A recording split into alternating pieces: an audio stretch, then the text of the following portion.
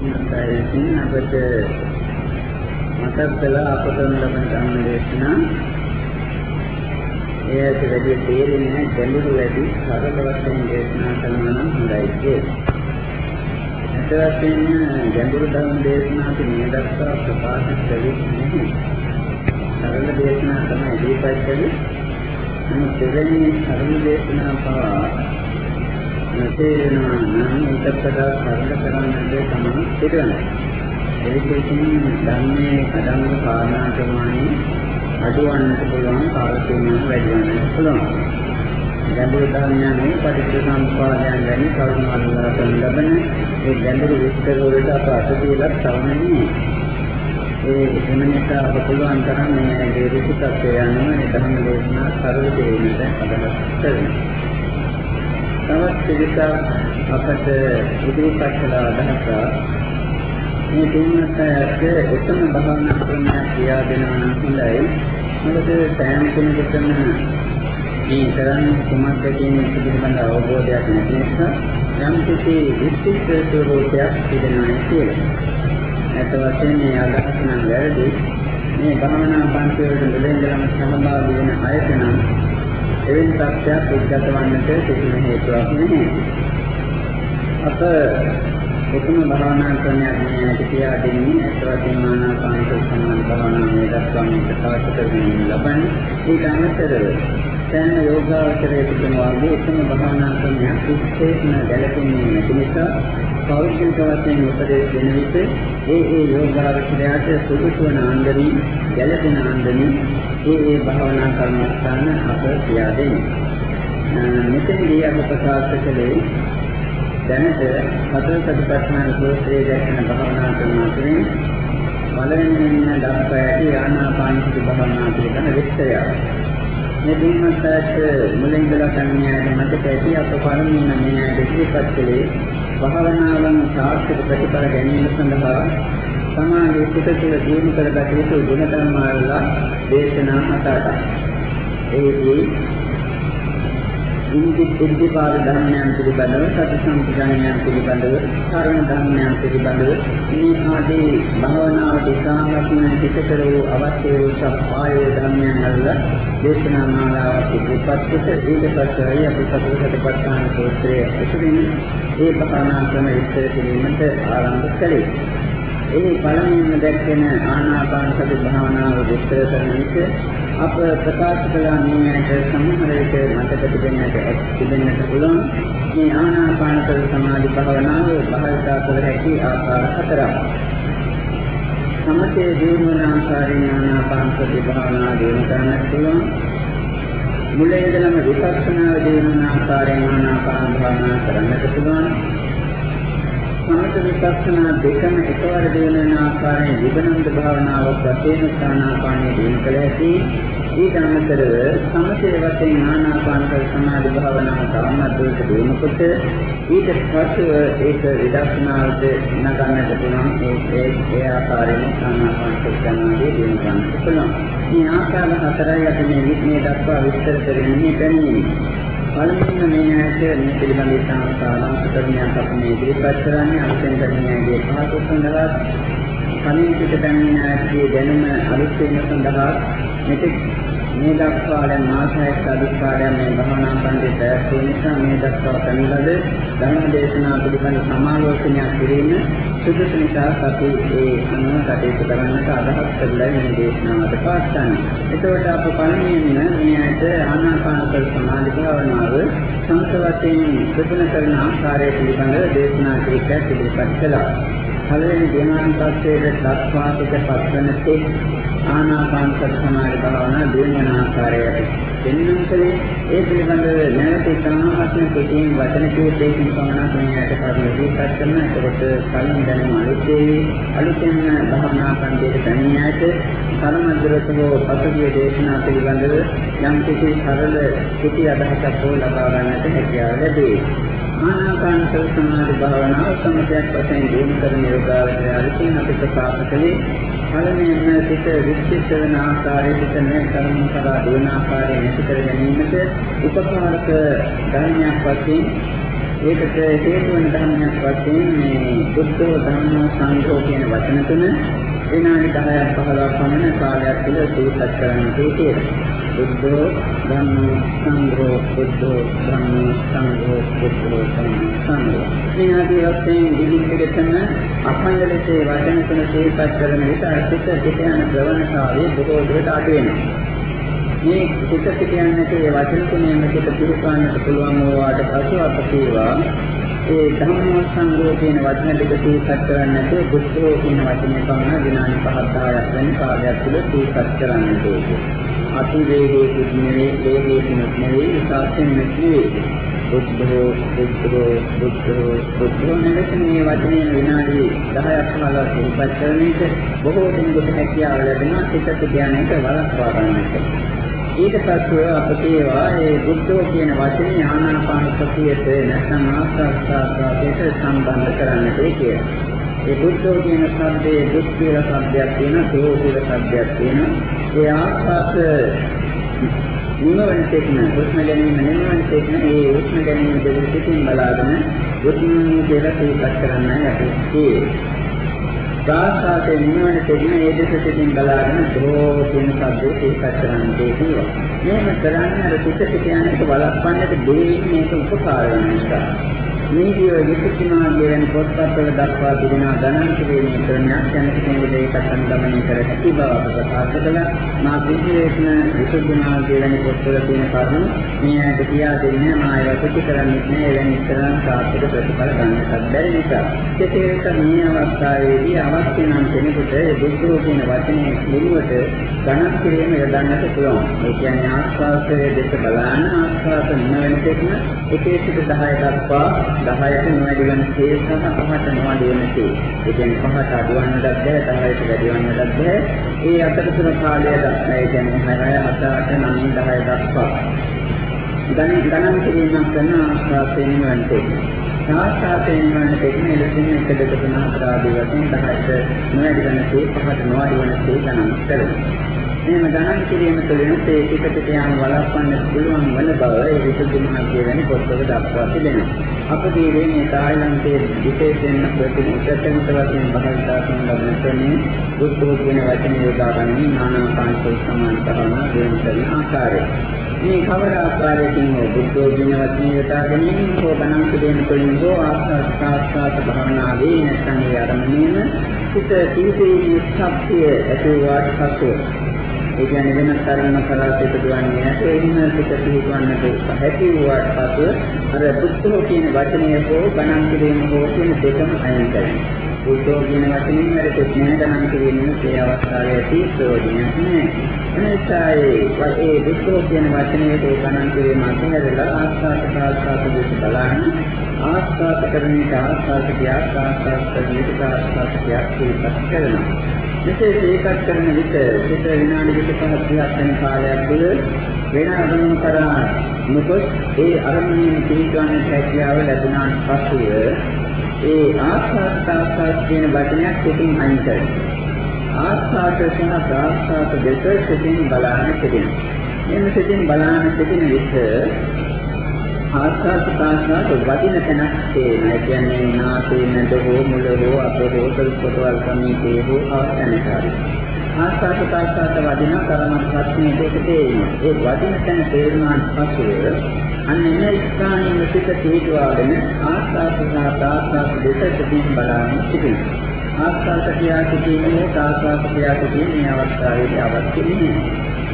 යන්නේ පිට පිට යනවා නම් අර මුලින් ඉඳලා කරපු ක්‍රියාවලිය නැවත කරනවා මේ කියන්නේ විනාඩි 4ක් 5ක් වුණ කාලයක් නැවත ඒකට පිට පූජා ගන්න හැකියාව ලැබෙනවා. මෙසේ කරන විට ආස්වාද සාස්ත්‍රයෙන් දෙන්න ක්‍රමයෙන් තුන් වන්නට පටන් ගන්නවා සමහර විට නොපෙනීම වාගේ යනවා නොතේරීම වාගේ යනවා. ඒ අවස්ථාවවලදී සමහර යෝගාවචරයන් පමණ දැන දෙනාටම නෙවෙයි. සමහර අයට පමණ ඔය විවිධාකාර නීතියයි දක්වන ලබන සිතට තේන නොයෙක් දේවල් දකින්නට ලැබෙනවා. ඒ කියන්නේ බලාපොරොත්තු වෙන දෙයක්, කල කළු පාට, සුදු පාට, නිල් පාට වෙන පාට, නැත්නම් මේ කුළුම් දෙයක් වෙන දෙයක්, කුණු කුඩරක් වෙන දෙයක්, කවර හෝ නිස්සක් සමහර යෝගාවචරෙන්ට සමනක් වෙන්නට පුළුවන්. අන්න ඒ අවස්ථාවේදී අපි මේ නිමිත්තකේ අවධානය යොමු කරන්නේ නැතුව ඒකත් දෙනිපෙනීම ආස්වාද ප්‍රාස්වාද වදින තැන සිට පිළිගාගෙන නැවත නැවත ආස්වාද ප්‍රාස්වාද අරමින්න හිත පිළිගාගෙන යන්නට තියෙනවා. අනේ එහෙම කරන විට අර කලින් කියන නිමිත්ත වෙනුවට ඊට වඩා සම්මාර යෝගාවචරින්ද පමණක් හැම දිනකටම නෙවෙයි ඒදී හැම දිනකටම තියෙන්නේ මේ ඊට වඩා කලින් දැක්ක නිමිත්තට වඩා ප්‍රබලව දීප්තිමත් ප්‍රභාස්වර වෙනස් නිමිත්තක් කෙනෙකුට පෙනෙන්න පුළුවන්කම ලැබෙනවා. ඒක ඇතිවෙනවා. හැමෝටම නෙවෙයි. අනේ අවස්ථාවේදී මේ නිමිත්ත වශී කරන්න ඕනේ වශී කරලා ඊට පස්සේ ඒ වශී කරන ආකාරයට ඒක යෝගාවචරය ගන්න වෙනස් වෙන පෞද්ගලික නමූනාත් අපේ ප්‍රතිපේ නිමිත්තක් පහළුව. එහෙම නිමිත්ත වශී කරගෙන ඊට පස්සේ නිමිත්තේ මෙතට පිටවාගෙන ධ්‍යානය දක්වා සිට දිනු කරගත හැකි ආකාරය අපි පළමුවෙන් පෙන්වන්න කරලා දුන්නේ. මේ ආකාරයෙන් මේ සිත ධ්‍යානයකට පත් කර ගන්නට නැති නම් ආනාපාන සමාධි භාවනා තුළින් අප ප්‍රකාශ කළා මේ ඇයට මතක ඇති මේ ධ්‍යානයක තියෙන අංග සමතත්යෙන් දිනු කර ගැනීම. ඒ කියන්නේ පළවෙනි ධ්‍යානයේ තියෙන විතක්ක, විචාර, කේතිකේ සතරාචරංග පහ. මේ අංග සහ සමතත්යෙන් දිනු කර ගැනීම ඒ වගේම සමාධියේ සිට තුළ පවතිනා උත්සද්ධා, වීර්යය, සති, සමාධි, ප්‍රඥා කියන ඉන්ද්‍රිය ධර්ම පහේ සමතත්යෙන් දිනු කර දිනු කැටීම තවත් වෙන බව. අන්න එම නිසා මේ ඉන්ද්‍රිය සමතාවයත් ඒ කියන්නේ සද්ධා විවේක සමාධි ප්‍රඥා කියන ඉන්ද්‍රියන් සමතාවයෙන් දිනු කරගත හැකි ආකාරය. ඒ වගේම විතක් විචාර දේශකේ සම්පතා කියන අංග පහ සම්පත්තේකට දිනු කරගත හැකි ආකාරය. ඊට පස්ව ධ්‍යානයකට සිතපස්සන ආකාරයේ පස්සන ආකාරයට පිළිපැදිය යුතු ආකාරයක් ගැන අප පරම දේශනා කීපය තුළදී විස්තර කළා. සමත වශයෙන් ආනාපාන භාවනාව ප්‍රගුණ කරන විදිහ කරන ආකාරය ලෙසින් අපි දැනගන්න කලේ. එන සමත වශයෙන් ප්‍රගුණ කරන්නට මාතෘකාවක් එක්ක සමන කාලයක් මේ අවස්ථාව ලබා දුන්නේ.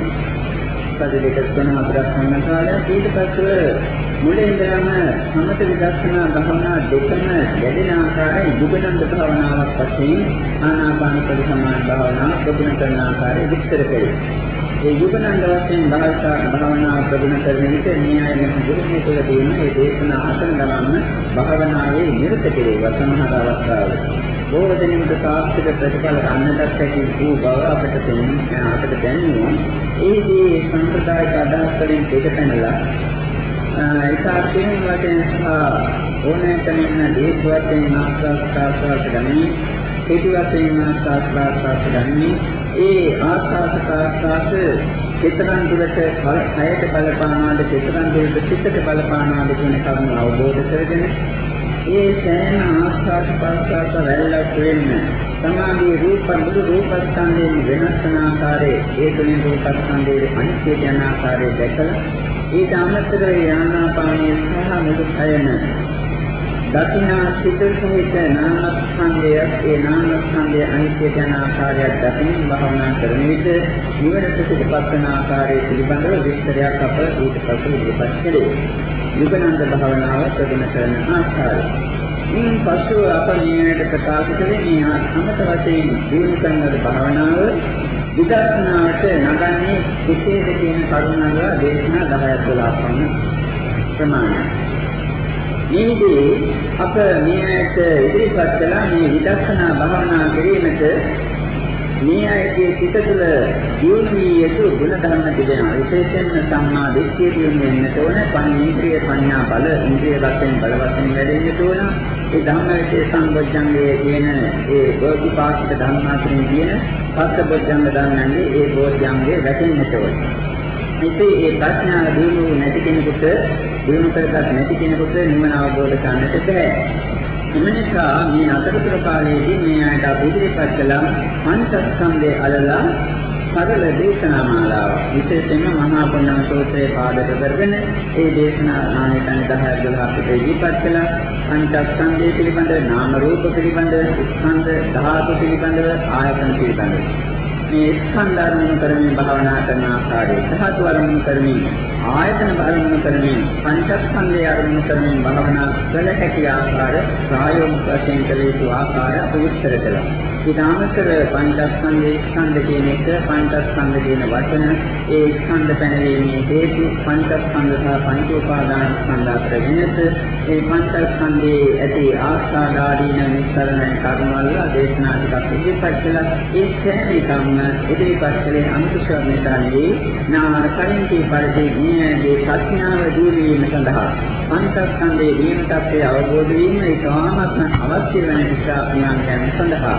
මේ අනුව ඒ විදිහට ඒ දේශනා පිළිපත් කරන ගමන්ම සමත වශයෙන් දියුණු කරන ලද ආනාපානසති සමාධි භාවනාව විදර්ශනාව ලංස ළඟන ආකාරය අපි ඉදිරිපත් කළා.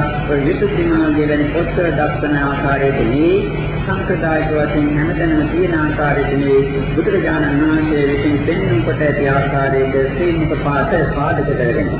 විශේෂයෙන්ම අපේදී පෙන්වන කලේ අටකනාගර සූත්‍රයේ ආශ්‍රයෙන් ඒ අටකනාගර සූත්‍රයේ දැක්වෙන පරිදි බුදුරජාණන් වහන්සේ විසින් සමතේ දිනු කරාට පස්සේ විදර්ශනාව කරන්නේ කුසීද කියන කරුණාවලලා දේශනා කළ ඒ පාඩ විස්තර කිරීම. විශේෂයෙන්ම තිරෙනවා සංයුත්තනිකායේ අංග සංගතයේ සීල සූත්‍ර වෙන තියෙනවා මේ පංචස්කන්ධයේ අනිත්‍ය ආදී 11 ආකාරයකින් බලන්නට කියලා. ඒ 11 ආකාරය තමයි අප විස්තර කරන්න කැමති. ඒ සීල සූත්‍රයේ නිවිසින් දැක්වෙනවා ඉතලවසෝ පොත්තික සීලාවතාවසෝ පොත්තික දෙක්ුණා. මේ පංච උපාදානස්කන්ධා අනිත්‍යතෝ දුක්ඛතෝ රෝගතෝ ගණ්ඩතෝ සල්ලතෝ අගතෝ ආගාදිතෝ කලතෝ පලෝකතෝ ශුන්‍යතෝ අනත්තෝ යෝනිසෝ මනසකාතං මේ ශාසනයේ යෝගාවචරේකෝ වික්ෂාප්තින් මේ පංචස්කන්ධය මේකෙන් ලද ඒකලස් ආකාරයේ යෝනිසෝ මනසකාතං යෝනි නැවත නැවත මෙහි කළ යුතුයි. මොකද්ද ඒකලස් ආකාරයේ අනිත්‍යතෝ දුක්ඛතෝ රෝගතෝ අනිත්‍ය වශයෙන් දුකක් වශයෙන්, භෝගයක් වශයෙන්, ඡන්දතෝ, ඡල්ලතෝ, අගතෝ, සතුවක් වශයෙන්, කුලක් වශයෙන්, මහා පාපයක් වශයෙන්. මේ ආදී වශයෙන් 11ක් ඉතින් දැක්වා තිබෙනවා. මේ 11ම අපි විස්තර කළා. මේ සූත්‍රයෙන් දැක්වෙනවා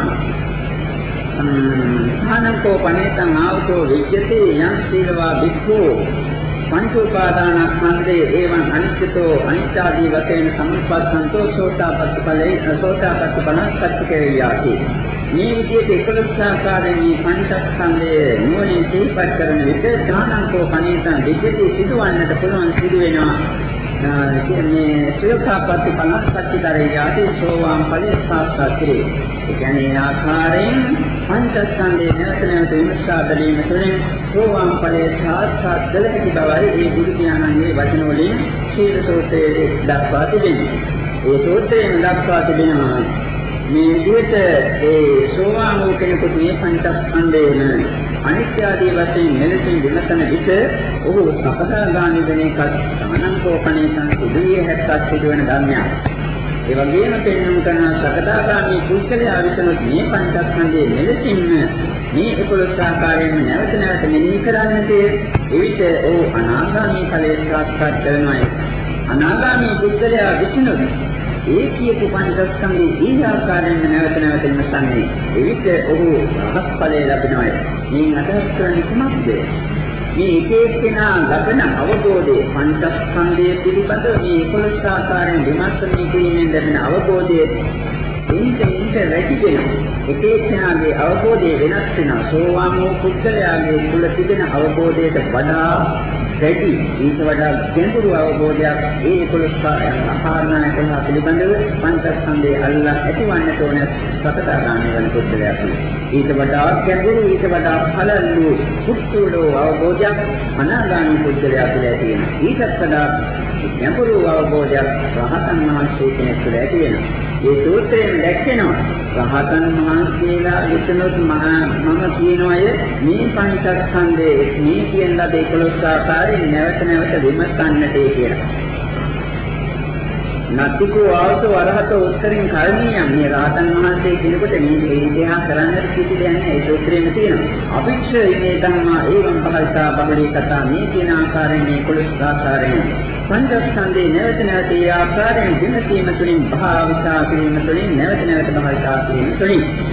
ඉස්සදම් සුඛ විහාරය සංවත්තන්ති සති සම්පජඤ්ඤාය ඡාති එලෙසින් මේ සූත්‍රයේ දැක්වෙන ඒ රහතන් වහන්සේගේ විස්සදන් සුඛ විහරණය මේ ජීවිතයේම සුඛ විහරණය යුතු වාසය කිරීම සඳහා සති සම්පජඤ්ඤේ දියුණු වීම සඳහා රහතන් වහන්සේලා විසින් පවා ඒකෙන් ලද එකලස් ආකාරයෙන් පංචස්කන්ධේ නැවත නැවත විමසන්නට කියලා ඒ සූත්‍රයේ දක්වා තිබෙනවා. මේ කරුණා ඉදිරිපත් කළේ අප මේ කරන්නේ කොයිතරම්නම් ප්‍රයෝජනවත් වැඩක්ද කියන බව පෙන්වන්න කරන්නේ මේ කලේ මේ දක්වා අපි මේ පංචස්කන්ධයේ මෙලෙසින් 11 ආකාරයකින් විමසීම නිසා බැලීම කොයිතරම්නම් සාර්ථකද බුදුරජාණන් වහන්සේ කොයිතරම් ප්‍රශංසාත්මකව වදාළාද කියන කරුණ පෙන්වන්නට.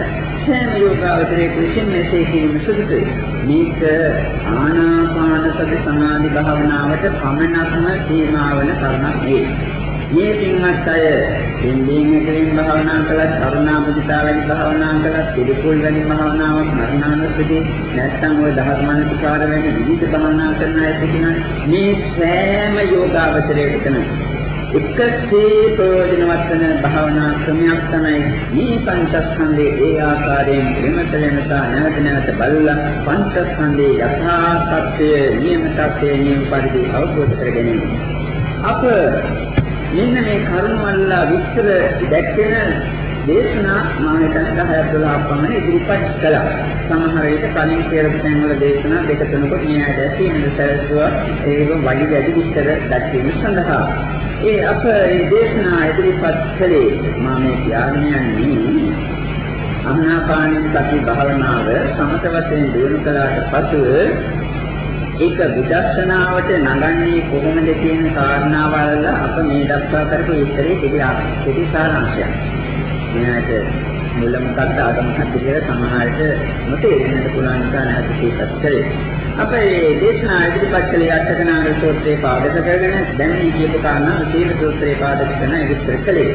සූත්‍ර රාශියකම ඒ කරුණ එලෙසින් විස්තර කරලා තිබෙනවා. මේ අටකනාග සූත්‍රයේ දැක්වෙන බුදුරජාණන් වහන්සේ විසින් ප්‍රකාශකට වදාළා තිබෙනවා. මේ විදිහට මේ පංචස්කන්ධය ඒ කියන්නේ රූපගතං වේදනාගතං සංඥාගතං සංඛාරගතං විඥානගතං තේතං මේ අනිත්‍යාදී වශයෙන් යෝනිසෝ මනසිකලම්තෝ මේ රූප වේදනා සංඥා සංඛාර විඥාන කියන මේ පංචස්කන්ධයම. ඒ අනිත්‍ය දුක්ඛ රෝග ගඩුවක් කුලක් ආදී වශයෙන් මේ 11 ආකාරයෙන් නැවත නැවත මෙනෙහි කරන්නටය ඒ අත්දැකීම් දැක්වෙන්නේ. මෙසේ මෙනෙහි කළා. ඒ සෝතේ දැක්කන අසෝතේ ධම්මේ හිතම් පටිවාපේති. මෙලෙසින් මෙනෙහි කළාට පසුව සෝ ඒ පුද්ගලයා විසින් මේ යෝගාවචරය විසින් ඒ ධම්මේ හිතම් පටිවාපේති. එලෙසින් මෙනෙහි කිරීම නවත්තලා සිත මුදා ගන්නවා සෝතේ ධම්මේ හිතම් පටිවාපෙත්ත. එලෙසින් සිත ඒ කුලස් ආකාරයෙන් මෙනෙහි කිරීම නවත්වා සිත මුදවාගෙන අමතා ධාතුවා දිස්සං උපසංහරතේ ඒකං සම්තං ඒකං පනේතං යදිදං සබ්බ සංඛාර සමතෝ සබ්බෝ පරිපටින් සබ්බෝ සංනස්සය විරාගෝ නිරෝධෝ නිබ්බානං අමතා ධාතුවා දිස්සං උපසංහරතේ නිවන පැත්තට සිත හසුරුවනවා ඒ හසුරුවිය හැකි ආකාරයට විස්තර කරනවා ඊසංසන්තං ඒකං පනේතං යදිදං සබ්බ සංඛාර සමතෝ සියලුම සංස්කාර සමනය කළා වූ ඒකස්සන්තං ඒතං පණිතං යදිනම් සබ්බ සංඛාර සබ්බෝ පටිපටිනිස්සබ්බෝ සියලුපදීන් අත්හැරියා වූ සංහස්සයෝ විරාගෝ නිරෝධෝ. සංහවසේ වූ විරාගේ ඇති වූ නිරෝධයට පත් වූ නිර්වාණය ඒකස්සන්තං පණිතං ඒකාන්ත පදේ ඒ නිර්වාණය සාන්තයි ප්‍රණීතයි කිය මෙනෙහි කරන්නට. අර ආකාරයෙන් කුලස් විදිහට පංචස්කන්ධේ නැවත නැවත විමසන නිසා විමසන නිසා බලලා ඉතා පැහැදිලි සත්‍ය අවබෝධයක් ඇති වුණාට පසුව ඒ සිතේ විමසීම නවත්තා නිවන දැසට සිත යොමු කරන්නට කියලා මෙලෙසින් බුදුරජාණන් වහන්සේ සුත්‍රයේ පෙන්වන්න කළා. සෝත්තක්කතු ආසමානං පාපනාති රුචි ආසමානං පාපුනාති ඒ නීව ධම්ම රාගයෙන් සායත ධම්මනන්දිය. මේ විදිහට කටයුතු කරන විට ඒ අමතා ධාතුව ඒ කියන්නේ නිර්වාණ ධාතුව කෙරෙහි සිත යොමු කොට භාවනා කරන විට ආස්වානන්තයන් පාපනාතු උපරිම වශයෙන් කතා කරන රහත් ඵලයේ සාක්ෂාත් කරන අය ආශ්‍රයන් ශේකරලා නොටි ආස්වානන්තයන් පාපනාති මේ ආශ්‍රයන් ශේකරලා රහත් වීමට යම් කපෝසත් වෙනවා නම් නීර ධම්මලාගෙන කාට ධම්මනන්දිය. එන්න ධම්ම නන්දිය කියන්නේ ඒ පිළිබඳ ඇති කරගත් ධම්ම ඥානය ඒ පිළිබඳ ඇති කර ධම්ම රුචිය තුලින් පංචන්නං ඕරම් භාගයන් සංයෝජනානම් පරිත්‍යාමේ ඕරම් භාගය සංයෝජ ධම්ම පහ සක්කාදිට්ඨි චිකිච්ඡා සීලබ්බත පරාමාස කියන සංයෝජ ධර්ම තුනයි. සාමරාග කටේ සංයෝජ ධර්ම දෙකයි. මේ පහට කියන්නේ ඕරම් භාගීය සංයෝජ ධර්ම කියලා. මේ සංයෝජ ධර්ම පහම පරීක්ෂා සම්පූර්ණයෙන් සේකලා අනාගාමී හෝති අනාගාමී ඵලයේ සාක්ෂාත් කරනයි කියලා එම සූත්‍රයේ බුදුජානන් වහන්සේ ලෙසින් පෙන්වන්න කළා තියෙනවා. මේ පින්වත් අයට අනාගාමී ඵලයේ අරහත් ඵලයේ නැතිවත් එලෙසින් කටයුතු කිරීම තුළින් යෝධාම සෝවාන් ඵලයට සාක්ෂාත් කරගන්න පුළුවන් වෙනවා. එම නිසා තමයි අපි මේ පංචස්කන්ධයේ නියමිතත්වයේ විදහා දක්වමින් ඒකෙන් ලද 11 ආකාරයෙන් විමතිය යුතු බව පෙන්වන කලේ සෑම දේශනාවක් අවසානයේම සතියක් හෝ නැත්නම් සති දෙක ගාන කාලයක් දුන්නා මේක ඒ කියන ලද කරුණානුව නැවත නැවත විමසීම නිසා පැහැදිලි සමාජම සත්‍යස්ව වන අවබෝධයක් ඇති කර ගැනීම සඳහා මෙන්න මෙලෙසින් මේ අවබෝධයේ නිවන විට මේ පින්වත් ඇති කරගෙන සිටියා නම් ඇති කරගෙන තිබෙනවා නම්.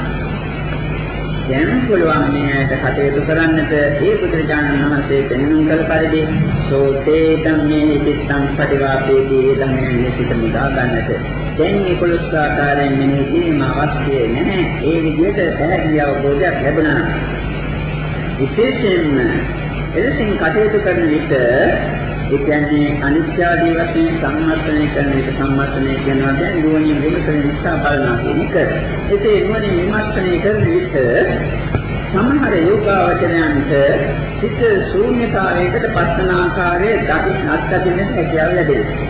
අනිත්‍ය වශයෙන් ලැබෙන තුලින් හෝ රෝගයක් වශයෙන්, ගඩුවක් වශයෙන්, මුලක් වශයෙන් මේ ආදී ආකාරයෙන් ඒ ඒ පංචස්කන්ධේ නැවත නැවත විමසන විට මේ රූපස්කන්ධේ සමාගයේ සිටට නොතෙනී ගොස් සිතට අරමුණු නොවී ගොස් සිත අංශේ පාලනා පරිසත්යටපත් වෙනවා. එම් පස්තු යෝගාවචන මේ පිටතට සිටින මාළඟටයි කියවා. විශේෂයෙන්ම ඔය කරතෝ කියන පදේ විස්තර කරන්නේ මේ පංචස්කන්ධේ සමාගයේ අන්නයිදී.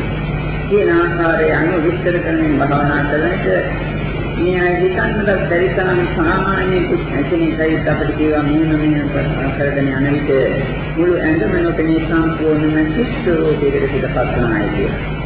ඒ වගේම ඒ සෑම පදයක් තුළින්ම නියමාන්තමින් මේ භාවනාව ප්‍රගුණ කළා නම් ඒ කියන ලද විශ්වාසයේ ශූන්‍ය භාවයක් දැනෙන්න පුළුවන්. විශේෂයෙන්ම නාමයේ වශයෙන් බලන විට ඊටමතර ශූන්‍යතාව වශයෙන් දකින්නේ. මේ ශූන්‍යතාව පිළිබඳ විස්තර මා හිතන්නේ පැය දෙකක පමණ දේශනා ඉදිරිපත් කරලා තියෙනවා. ඒ දේශනා අනුව කටයුතු කළා නම් එවිට ප්‍රත්‍යක්ෂ වශයෙන් මේ ධර්මයේ දකින්නට දියුණු වූ මතවතක් තිබෙනවා නම් හදවත කිනකින් අදහස් කළේ සමාධිය සහ ප්‍රඥාව කියන දෙකම අදහස් කළේ. ඒ සමාධිය ප්‍රඥාව දියුණු නම් සිත ශූන්‍යතාවයකට පත් කර ගන්නට පුළුවන්. හිතට රූපස්කන්ධේ නොපෙනී යන අහසේ සිට පාවෙනා බල සත්‍ය. අන්නේ ඒ අවස්ථාව උත්කල්ත වූ වාට පසුව සෝතේ ධම්මේ චිත්තං පටිවාපෙත්වා කියන එක ඉතේම සම්පූර්ණත්වයට පත් වෙනවා. අර ඒකත් ආකාරයෙන් මෙනෙහි කිරීමෙන් සිත මුදාගෙන. ඒ සිත ශූන්‍යතාවයට පත් වුණාට පස්සේ ගෝවයට හිතන්නට බෑ. ප්‍රඥාව අධික කෙනෙකුට පමණයි හිතන්න පුළුවන්. එතකොට අර ඒකත් ආකාරයෙන් සීපත් කිරීම අවශ්‍ය වන්නේ නෑ. ඒ සීපත් කරන්නට සමහර යෝගයේ වචනින්ද බෑ. සෝතේ ධම්මේ චිත්තං පටිවාපෙත්වා. ඒකේ සිත ඒකින් පළකිනවා. ඒක ඒකෙම නැවත නැවත මනස්කාර පැවැත්වන්නේ නැහැ. සෝතේ ධම්මේ චිත්තං පටිපාදෙත්ත අමතා ජහත්වා චිත්තං විසංහරති නිවන දෙදෙස්ස එවිට උට පිට අසුවන්නට පුළුවන් වෙනවා. කොහොමද? සබ්බ සංස්කාර සමතෝ සියලු සංස්කාර සමනිය නිවන සාන්තයි නිවන ප්‍රණීතයි කියලා. මේක කරන්නේ ඒ විදිහට මේ දෙන්නත් අද භාවනා කරන එක දැන් හොඳට කරලා පුරුදු නිසා විනාඩි 30ක් 40ක් නැත්නම් පැයක් දෙකමාර කොන්න කාලයක් තුළදී නැවත නැවත ඒ පොළොස් ආකාරය තමා ගන්න විදිහට විතරිතා හිතේතා මේ පංචස්කන්ධයේ නියම සත්‍ය අවබෝධ කරගන්න. යම් මේකින් යම් යෝගාවචරයකට ඒකෙන්ද ආකාරයෙන් මේ පංචස්කන්ධයෙන් රූපස්කන්ධයෙන් නොපෙනී ගොස් සම්පූර්ණයෙන්ම සිත් ස්වરૂපයක් පිටට අවබෝධ වෙනවා නම් ශූන්‍ය දර්ශනය ඇති වෙන විට අන්න බුදුරජාණන් වහන්සේගේ උපදේශයේදී පිළිපදිනවා සම්ප සංඛාර සමතෝ සංස්කාර සමනියෝ නිවන කාන්තයි මේ දැකින ශූන්‍යතාවය ඒ දවසේ ඒ මොහොතේ අත්දකින ශූන්‍යතාවය සංස්කාර ධර්මයක්.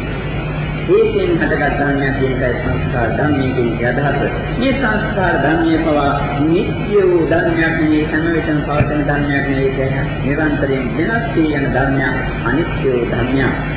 මේ සංස්කාර ධර්මයේ අනිත්‍යයි මේ සංස්කාර ධර්මයේ අනිත්‍ය නිසාම අනිත්‍යයට ගියාට පසුව ඒ ඒ තුළ මම කියා ආත්ම කියා ගන්නට කිසි ධර්මයක් ශේෂවන්නේ ඒ කියන්නේ ඒ ශූන්‍යතා දර්ශනීයම මම හෝ ආත්ම වශයෙන් ගත්තා නම් ඒ ශූන්‍යතා දර්ශනීය නැති වී ගියාට පසුව ඒ ආත්ම බව මම බව නැති විය ඒක පැහැදිලි නෑ එතකොට ඒ තුල ආත්ම කියලා ගන්නට කිසිවක් ශේෂවන්නේ ඒ නිසා මේක අනාත්මයි. මෙන්න මේ අවබෝධය ඇතුව ඒ ශූන්‍යතාවයෙන් සිටගෙන මේක සංස්කාර මාත්‍රයක් මේක අනිත්‍ය ධර්මයක් මේක අනාත්ම ධර්මයක් කියලා නැවත නැවත නැවත නැවත සිහිපත් කරන විට ඒ සංස්කාර මාත්‍රේ පවා නිවිය සංස්කාර විරහිත ශූන්‍යතාවයකට පිටපත් කරගන්නට පුළුවන් වෙනවා. අන්න ඒ ශූන්‍යතාවයේ සිටගෙනම මෙහත් අනිත්‍යයි මෙහත් අනාත්මයි කියලා මෙනෙහි කළොත් එහෙම කෙලෙසේ සිටට නිවන එහිදී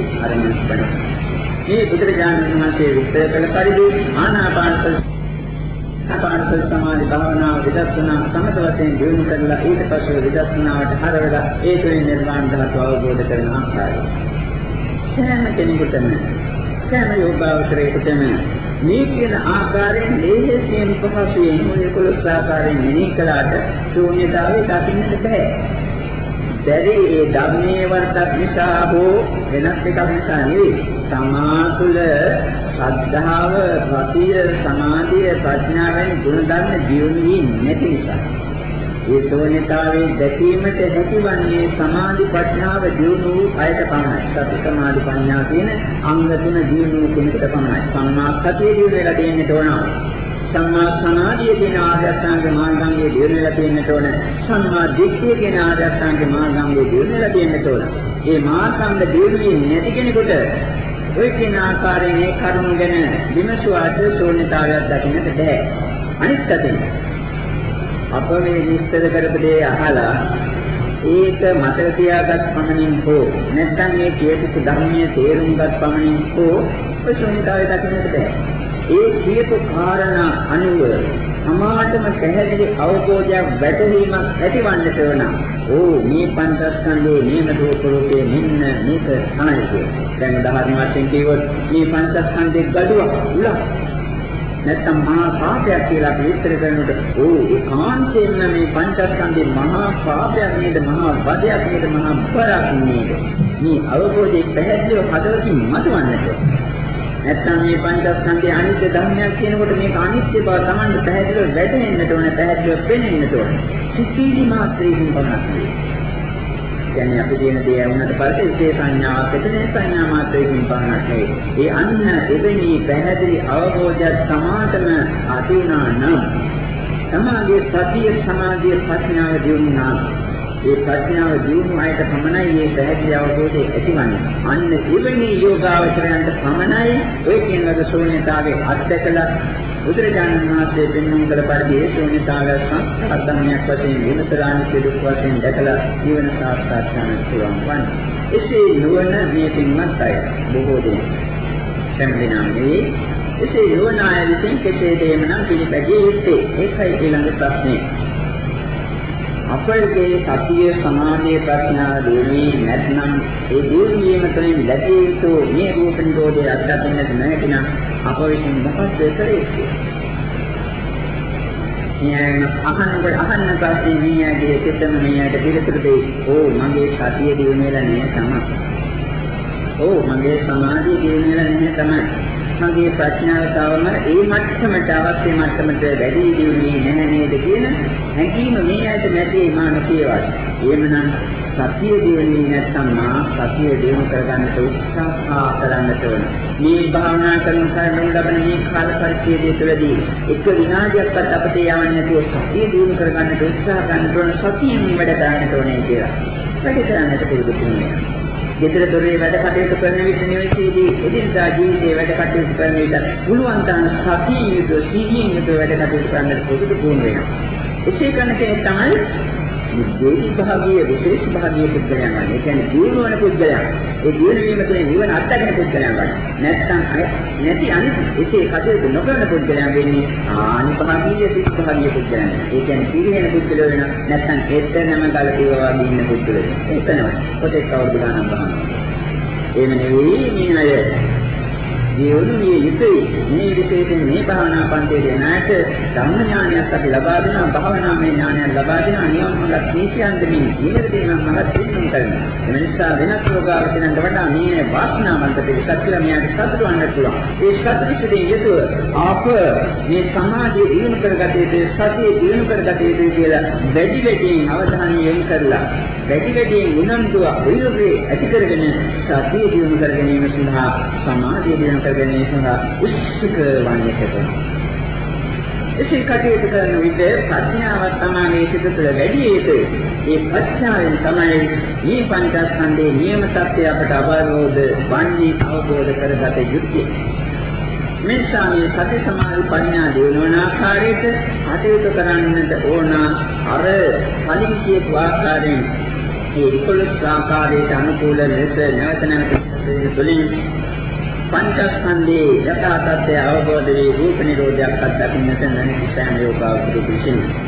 ඊට අමතරව සමාජ තේරෙනවා නම් සමාගයේ සතියක් දැන් දිනුනේ සමාධිය ධර්මද්වයට පැය විනාඩි 45ක් පැය පමණ කාලයක් තුළ හෝ වෙන අරමුණු කරා නුගසිත ඒ භවනා අරමුණේ පවත්වන්නට තරම් සුදුසු මට්ටමට වැඩි තියෙනවා මට යම් මේ කාරණා පිළිබඳ අවබෝධයකුත් තියෙනවා කියන්නේ ඒ ප්‍රඥාවක් තියෙනවා කියන හැඟීම සමානට ඇතිවෙනවා නම් අන්ති දේවකාශන විසින් පමණක් මෙන්න මේව කටයුතු කරන්න අපිට ආනාපාන සති භාවනාවේම නිරත වෙනවා නිරත වෙලා තරමද්දුට සිත සමාධිගත වූාට පසුව ඒ ආනාපාන ආස්වාද ප්‍රාස්වාද තුළින් සමාධියේ නාමකය සහ රූපකය වෙනස් වන ආකාරය දෙස සමාධියෙන් යුතුව බලන්න තිබෙනවා. ඒ කියන්නේ ආස්වාද ගන්නවා.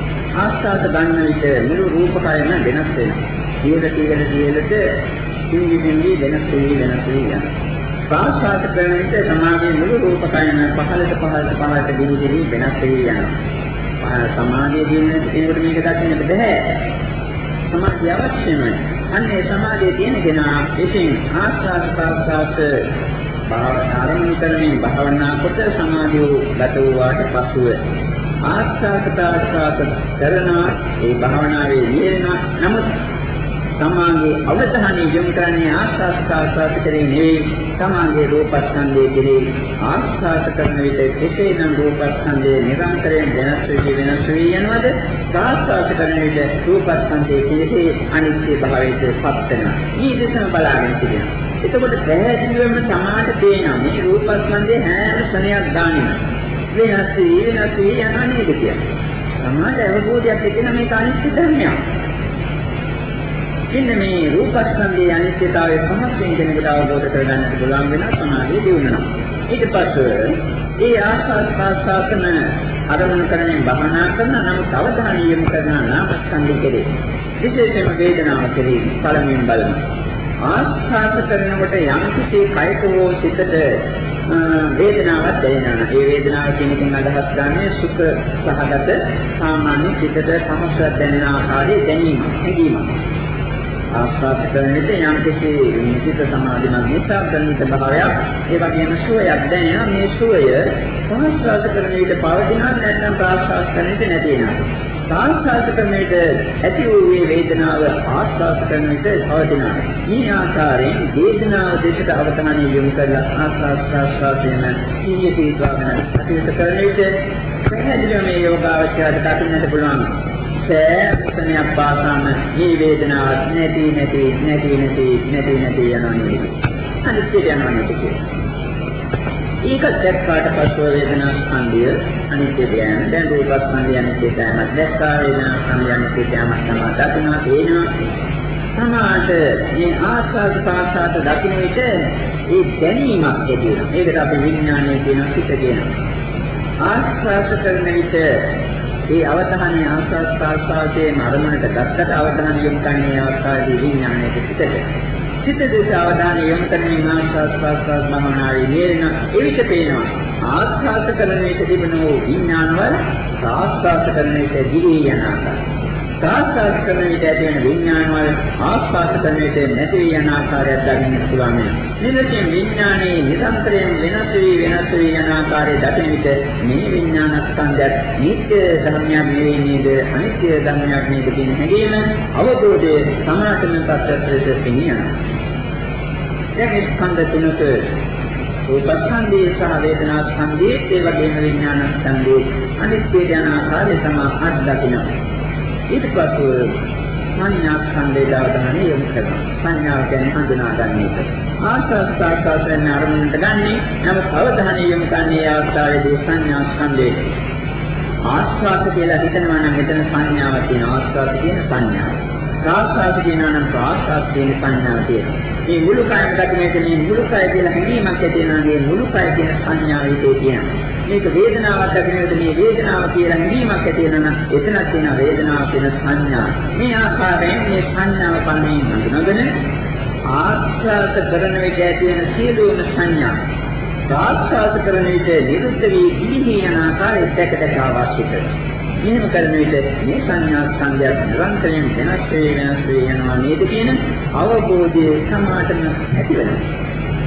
මෙන්න මේ ආකාරයෙන් රූප වේදනා සංඥා විඥාන කියන ස්කන්ධ ධර්මයන්ගේ අනිත්‍යතාවය දැක දැක දැක දැක වාසය කරන විට සමහර විට සමහර යෝගාවචරයන්ට පමණක් ওই කවර ස්කන්ධයේ අනිත්‍යතාවය දැක දැක සිටින විට හෝ අර රූප නිරෝධය කියන්නේ රූපස්කන්ධයේ තමාගේ සිතට නොපෙනී ගොස් සර්ව සම්පූර්ණ දිස් බවක් සිතට අවබෝධ වන්නට පුළුවන්. අන්න ඒ අවස්ථාවේදී අර මා කලින් කියපු ආකාරයෙන් මේකත් සංස්කාර ධර්මයක් මේ හිස් බව තනිත්ව අනාත්ම ධර්මයක් කියන අවබෝධය ඇතුව ඒකත් නුවණින් විමසනකොට ත්‍රිලක්ෂණය නගරයේ ඒ සංස්කාර මාත්‍රයේ ඉක්මනට නිවන් ලබන්නට පුළුවන්. අත්දකින්න පුළුවන්. මේදී අපි සංස්කාර ස්කන්ධය පිළිබඳව අවධානය යොමු කරන්නට කියලා මේ ඇයට මතක් කරන්නේ කරන්නට පුළුවන් සමහර යෝගාවචරය ගමනක් සිටින හැම දිනකටම සංස්කාර ස්කන්ධය දෙස බලන්නට බෑ. මේ ආස්වාද සංස්කාර දෙස බලන්නේ කය දෙස බලමින් වේදනාව දෙස බලමින් සංඥා විඥාන දෙස බලමින් මෙලෙසින් මේ අනිත්‍යතාවයේ දැකදකා භාවනා කරන විට මේ ඒ යෝගාචරයේ සිත තුළ ජනිතන සංස්කාර චිත්ත සංස්කාර සිටේ මොනවද? මේ රූපස්කන්ධය අනිත්‍යයි මේ වේදනාව අනිත්‍යයි මේ සංඥාව මේවට කියන්නේ සංස්කාර. රූපස්කන්ධය අනිත්‍යයි කියන සිතුවිල්ලක් ඇති වුණා නම් ඒක චිත්ත සංස්කාර ධර්මයක්. වේදනා ස්කන්ධය අනිත්‍යයි කියන හැඟීම පහළ වුණා නම් ඒක චිත්ත සංස්කාර ධර්ම. මෙන්න මේ සංස්කාර ස්කන්ධය කෙරෙහි ඊළඟට අවධානය යොමු කරනවා. ආස්වාස්වාසන අරමුණු කරමින්. මෙන්න මෙවිට අර සංස්කාර ස්කන්ධය බව සෑම සමයක් පාසා වෙනස් වේ වෙනස් වේ අනිත්‍ය යන ආකාරය කෙනෙකුට අවබෝධ කරගන්න හැකි වෙනවා. මෙන්න මෙලෙසින් මේ පංචස්කන්ධයේ ඇතිවීම නැතිවීම දෙක දෙක භාවිතා කරන යෝගාවචරය නියත වශයෙන්ම සංනිර්වාණ ධාතුව කරා සමීකරණ මොකද බුදුරජාණන් වහන්සේ පෙන්වන කලේ නිර්වාණ ධාතුව අවබෝධ කිරීමට තියෙන එකම භාවනා මාර්ගය වශයෙන් ඉමේසු පංච සුභාදානස්කන්ධේසු විද්‍යාඥාන පස්සේ විහෙරති කියලා. මේ උපාදාන ස්කන්ධ පංචකේ ඇතිවීම නැතිවීම දවබලා බලබලා වාසය කරන්නේ කියන්නේ. මේ පංච ස්කන්ධේ ආරම්භ කරමින් ඒ ඇතිවීම නැතිවීම දැක දැක භාවනා කිරීම හැර රහත් ඵලයේ දක්වාම නිවන් අවබෝධ කරගන්නට වෙනත් භාවනා මාර්ගයක් නෙවෙයි. අවර භාවනාවට අප නිරතුණත් අවසානයේ ප්‍රතිඵලයේ පංචස්කන්ධයේ අනිත්‍යතාවයේ ඒ තුළින් ඇති වෙන නිරෝධයක් දැකීමයි. එම නිසා මේ තුන්වත් අද ඕර කොටින් කළාට පසුව අද කලින් කියපු ආකාරයෙන් පංචස්කන්ධයේ කුලස්කාරයෙන් විනාඩි 45ක් පමණ කාලය තුළ හොඳට නුවණින් බලලා ඊට පසුව ශූන්‍යතාවයකට පිටපත් වුණොත් ඒ සංස්කාර ධර්මයේ පවා අනිත්‍ය සංස්කාර ධර්මයක් වශයෙන් අවබෝධ කරගෙන අනිත්‍ය ආත්ම අනාත්ම වශයෙන් විමසලා දැකලා ඒකෙන් නිවන අවබෝධ කරගන්න උත්සාහ ගන්නවා. සමාධියේ සිට තුළ සමාධිය ප්‍රඥාව දියුනේ නැති පුද්ගලයන් විසින්. මේ දක්වාම සමාධි සතිය දියුනේ නැත්නම් සමාධිය දියුනේ නැත්නම් ප්‍රඥාව දියුනේ නැත්නම් පුළුවන් තරම් සතියෙන් වැඩ කරමින් සමාධිය දියුණු ආකාරයෙන්. කලින් මාතුවන ආනාපාන සතිය දියුණු කරන්නේ කොහොමද? සම්පේ වැටෙන්නේ සමාධිය දියුණු වෙන්නේ කියලා. ඒ ඒ කොටස අනුව පිළිපදින්නේ සමාධිය සතිය දියුණු ආකාරයෙන් ඒ යෝගාවචරය පිළිපදින්නේ ඕනේ. යම් කිසි යෝගාවචරයකට ශූන්‍යතාවය දැකලන්නේ නමුත් සතිය සමාධිය ප්‍රඥාවයි ගුණ ධර්ම වැඩි ඇති බව අවබෝධ වෙනවා නම් අන්න ඒ අය විසින් මේ ආනාපාන සතිය භාවනා කරන කරන ටිකක් දුර ටික වේලාවක් සිට සමාධිගත වුණාට පසු ඒ ආස්වාද ප්‍රාස්වාදයට ප්‍රතිබද්ධ ඒ කියන්නේ ඒකට බැඳිලා වගේ පංචස්කන්ධය ඇති වෙනවා පවතිනවා නැති වෙනවා. අන්න ඒ පංචස්කන්ධයේ ඇතිවීම පැවතීම නැතිවීම බල බලා සිටිනවා පළමුවෙන් රූපස්කන්ධය ඊට පස්සේ වේදනා ඊට පස්සේ විඥානය ඊට පස්සේ සංඥා. අවසාන වශයෙන් සංස්කාරය. මේ මාතීගේ පහස නිසා කැමති කියන්නේ පංචස්කන්ධය යන සිතාවේ දකින්නට පුළුවන්. මේ ඕඩේක ඒ අනුව පිළිපැදීම අවශ්‍ය වන්නේ. මෙන්න මේක කටයුතු කරන යෝගාවචරය නියත වශයෙන්ම නිවනට සමීප වෙනවා. මේ අනුව පිළිපැදීමේ මේ පින්වත් අයට වම්පහාම නිවන ඉස්සනීමේ වාසනාව සත්‍ය උදා වේවා කියලා ආශිර්වාදනය කරමින් මේ කුඩියන් ශාසනාව අප මෙතනින් ඉන්න කරන්නම් ඔබ සම්ම දෙනාටම නිවන් සරණ අත්පත් වේවා.